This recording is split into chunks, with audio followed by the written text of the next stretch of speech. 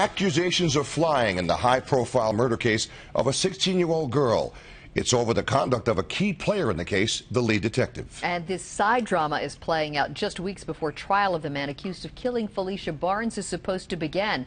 I-Team lead investigative reporter Jane Miller joins us live in the newsroom with the latest. Jane. Donna, defense lawyers in the case are accusing prosecutors of dragging their feet in an investigation of what the detective did when his own daughter went missing to protect his credibility in the case involving Phylicia Barnes.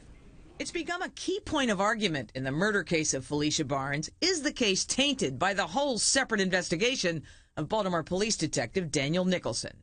The 16 year old disappeared in December of 2010 from the Northwest Baltimore apartment where she was visiting her sister. Her body was found in the Susquehanna River four months later.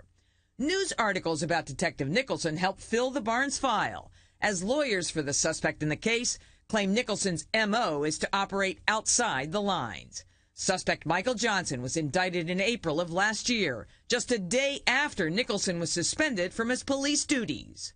The suspension came after Nicholson allegedly used his police powers to force his way into a Northeast Baltimore apartment. It was part of a rogue investigation, sources say, led by Nicholson to find his own missing daughter. She later turned up unharmed.